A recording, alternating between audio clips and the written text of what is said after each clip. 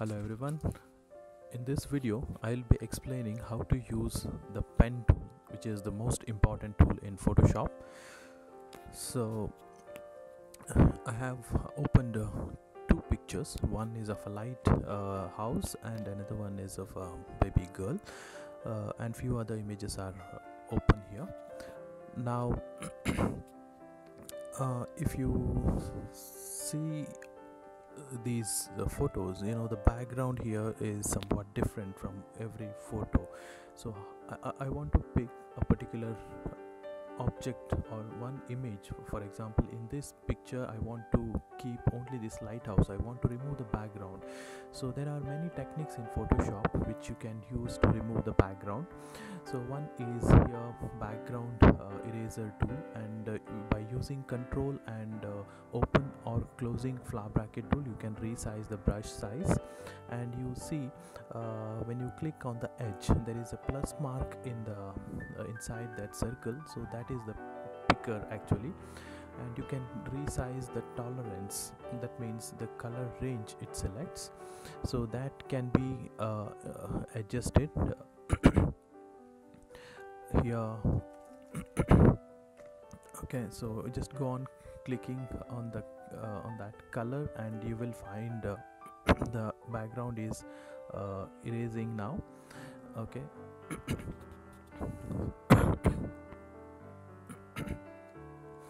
okay so go on clicking on the edge. Don't click inside the uh, that lighthouse picture because it removes that uh, pixel otherwise.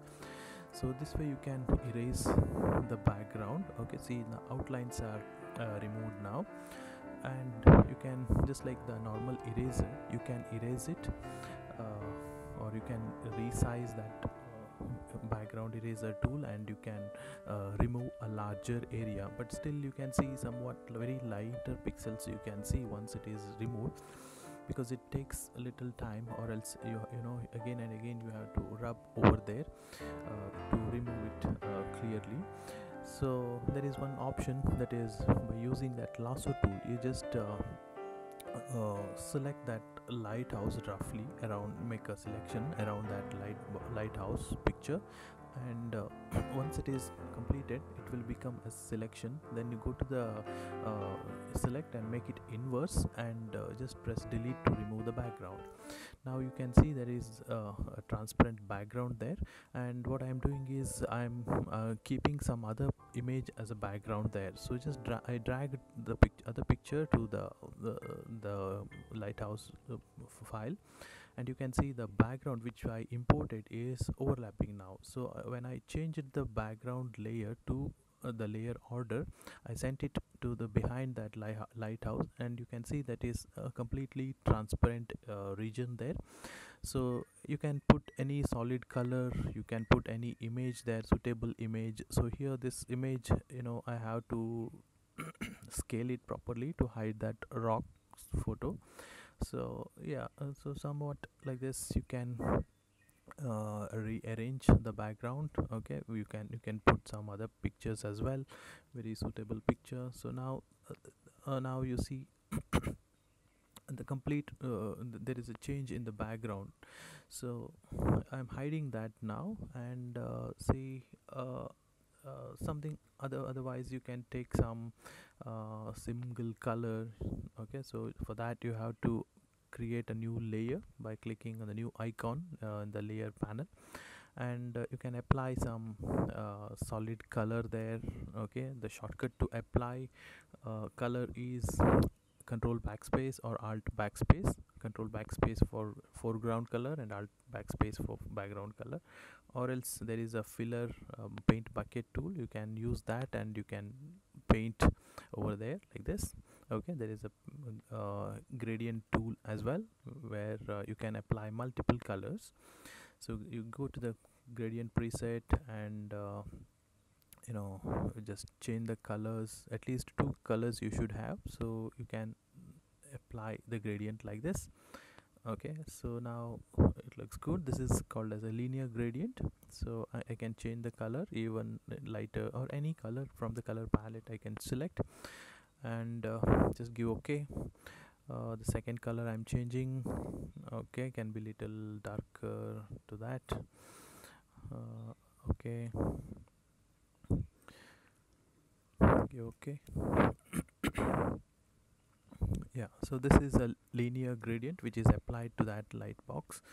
And uh, there are other options as well under gradient. You have uh, radial. See now what I applied is radial uh, gradient uh, and uh, you can you can change the color area of a particular gradient. Now again I'm drawing a gradient.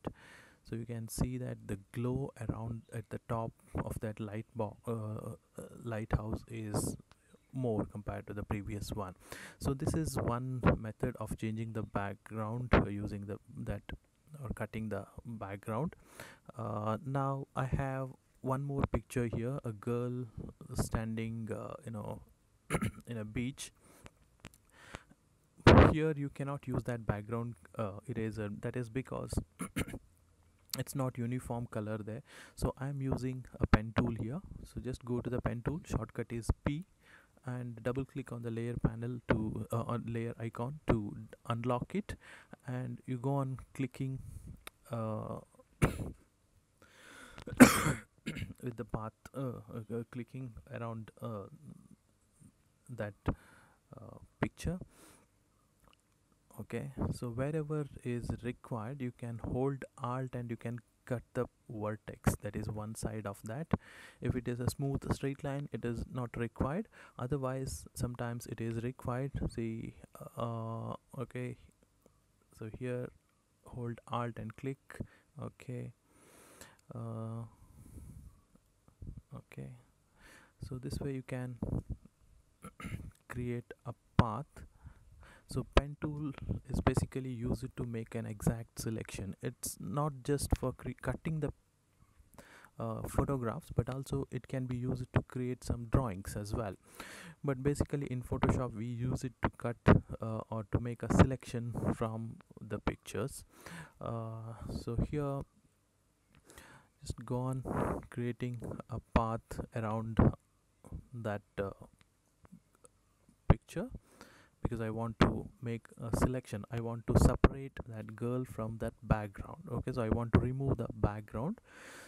So it may take some time to get uh, you know good hold over pen tool so you may have to practice over and over and again and again uh, for few days. Otherwise you know with just mouse it is difficult to get the exact uh, selection there. So let me complete this uh, path selection uh, okay? So you can use uh, the spacer bar tool to move or to pan the picture there. And you can use control plus and control minus to zoom in and zoom out. And uh, now that is the end of the selection. So you can see a path is created around the that girl picture and just press control enter to make it as a selection. Now you can see the running marquee there. And uh, just go to the selection and inverse it to make that beach picture as a, a selection area. So now hold shift and f6 to apply little feather or the outline blur to that and press delete to remove the background. Now you can see there it is alpha and uh, I have some other background opened here. So I'm putting that as a background just like in how I did for the lighthouse picture. So I'm doing it here as well. Uh, so now this this scenery is uh, above that girl picture. So you can change the layer order and you can keep that as a background. Okay you can resize the girl picture using control T. Okay you can reposition it.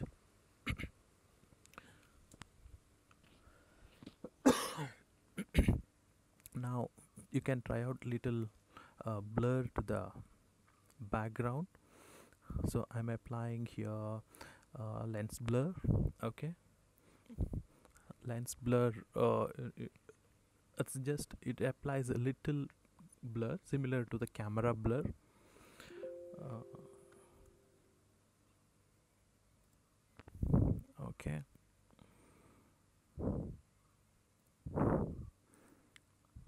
So okay now that is done. Now i'm i'm changing to uh, changing the levels or the color scheme of that. So there are three channels because it's a rgb file. So you have uh, red green and blue rgb uh, three channels. Just try out uh, by changing these values or parameters to get some uh, good output. And uh, okay so i'm changing now green and you can see the change behind there. Okay okay yeah so there are some presets as well to increase the contrast all these things. So you can try out those as well okay? So again again i'm going to the green channel and uh, i'm doing some modification there with the color scheme uh, color channel okay uh, yeah so I think that is okay. Now click OK there uh, to finish that part. So again thanks for watching this video. If you like this please uh, subscribe my channel and uh, support me. Thank you